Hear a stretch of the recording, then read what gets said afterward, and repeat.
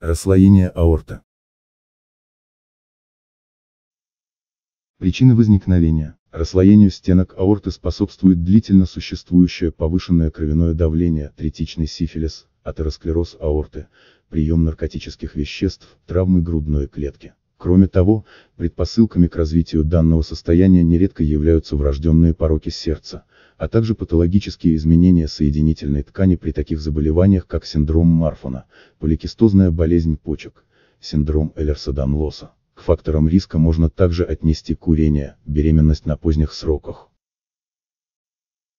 Симптомы, которые возникают при расслоении аорты, зависят от расположения аневризмы и ее размеров. Одним из основных симптомов расслаивающей аневризмы аорты является боль. Боль при расслоении аорты возникает внезапно и отличается выраженной интенсивностью. Она имеет простреливающий, разрывающий, раздирающий характер. Локализация боли при расслаивающей аневризме аорты определяется местом начала расслоения. При дальнейшем расслоении боль перемещается. В начале боль может сопровождаться тошнотой, повышением артериального давления, рвотой. Виды заболевания. Выделяют следующие типы расслаивающей аневризмы аорты. Тип 1 при данном варианте местом локализации разрыва выступает восходящая аорта, при этом расслоение распространяется на дугу аорты и нередко на ее брюшной и грудной отделы. Тип 2. Разрыв возникает в восходящей части аорты, а расслоение ограничено только этой частью. Тип 3. Разрыв возникает в нисходящей грудной аорте, расслоение распространяется по нисходящей аорте с вовлечением всего грудного отдела либо и грудного, и брюшного отделов. Реже расслоение распространяется на восходящую аорту и дугу. Также выделяют тип А и тип Б. В зависимости от времени развития данного заболевания, выделяют острое и хроническое расслоение аорты.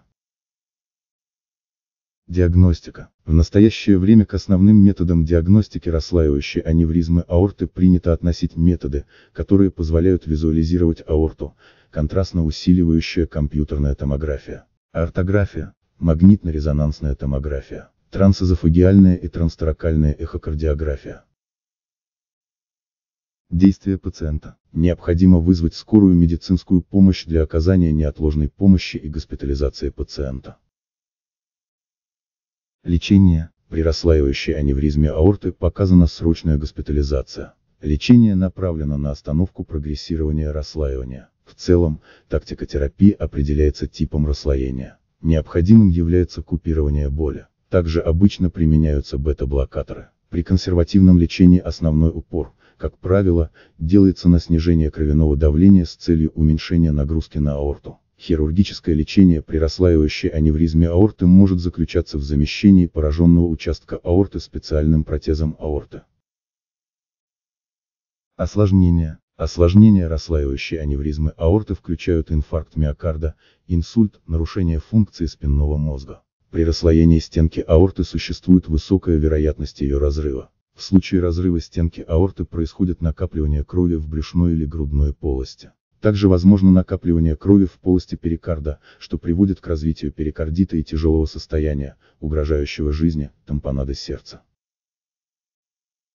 Профилактика. Расслоение аорты является крайне опасным состоянием, поэтому важно вовремя распознать формирование аневризмы аорты и начать лечение. Чтобы снизить вероятность возникновения расслаивающей аневризмы аорты, необходимо знать и периодически контролировать уровень артериального давления. В случае гиперлипидемии необходимо соблюдать специальную диету, а при необходимости применять гиполипидемические лекарственные препараты.